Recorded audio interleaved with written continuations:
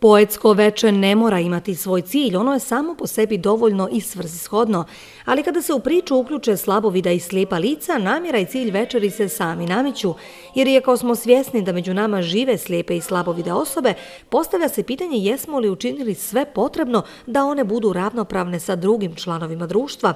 Već osmu godinu za redom Udruženje slijepih Prnjavor uz podršku Srpskog književnog kluba Talasi iz Prnjavora između ostalih aktivnosti organizuju i poetsko veče. Ove godine ugostili su pjesnike i članove brojnih udruženja slijepih iz okolnih opština. Cilj održavanja svega ovoga znači nije samo ovako zbližavanje kroz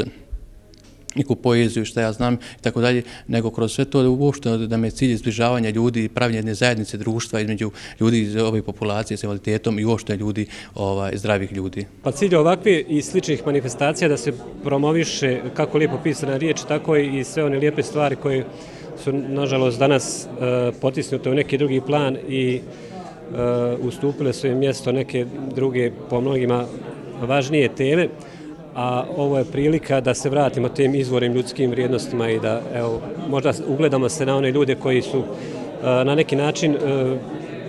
imaju, da kažemo, hendikep, ali ni, ni po čemu ne zaostaju u, u organizaciji kao, kako vidimo i ovih susreta i sličnih delatnosti. Ja imam na moju sreću iskustvo sa ljudima slabovidim i slijepim, koji su divni ljudi, znači treba ih upoznat i vidjeti da su to najnormalni ljudi kao i mi koji vidimo i čak su u nekim stvarima mnogo oštri, mnogo jači, da ne kažem pametniji, zato što to drugačije gledaju, pažljivije gledaju. Znači uvijek se družite sa slijepim ljudima, od njih možete mnogo da naučite.